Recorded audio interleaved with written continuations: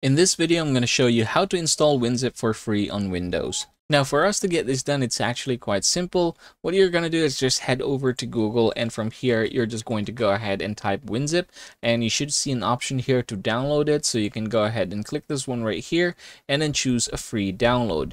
Afterwards, you should see it here at the top right corner. Go ahead and click that one in order for the installation to begin the process. And then you should be seeing something like this. Go ahead and tap on the next agree, and in this case, agree again, and there you go.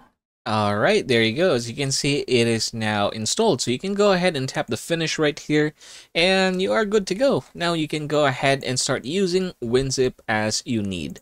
So yep, I'm just going to go ahead and close this and then make this big for you guys to see. And that everybody is how it's done. If you found this video helpful, please consider hitting that like button down below and subscribing to the channel.